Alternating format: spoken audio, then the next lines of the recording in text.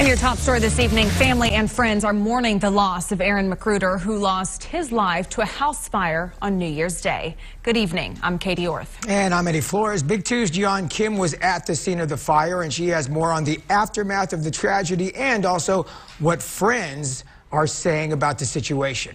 Jian? Well, guys, officials are still investigating the cause of the fire. As for the three people who were injured, Yasmin Tarango and her brother have been released from the hospital, and Yasmin is waiting to return for her surgery.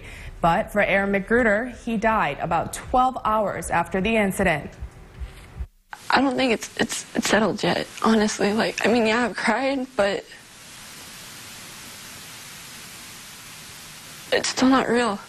The pain of Aaron McGruder's death on January 1st is weighing down the hearts of friends Jacob Wheeler and Rebecca Heeb.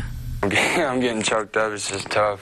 While wife Yasmin Tarango and her brother was saved, McGruder lost his life protecting the love of his life. The way they looked at each other was the definition of true love.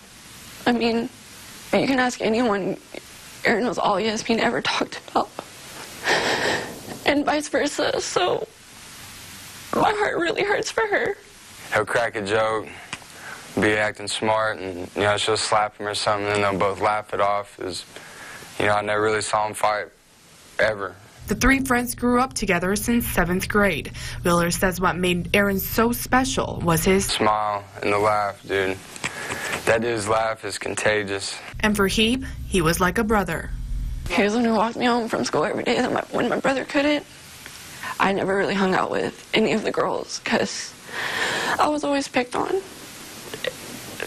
And Aaron was always there for me. He's a protector. I mean, he's a big-hearted dude. It's kind of selfish to say, but I didn't expect Aaron to ever die young because he was such a, a good-hearted person. Like, While life has taken them in different paths since high school, Wheeler says they were always on the same page. I could not see him for six months, and then as soon as you see him, it's it's like you never even skipped a beat. But Wheeler says Aaron's heroic death speaks volume to his character. There's no better way that he could have went out, you know?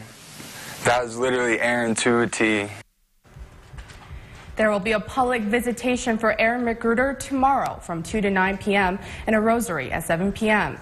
This will all be held at the Martinez Funeral Home. Also, his funeral will be at 10 a.m. this Saturday at the Bethlehem Baptist Church. And all of this is open to the public. Reporting live, Jian Kim, Big 2 News.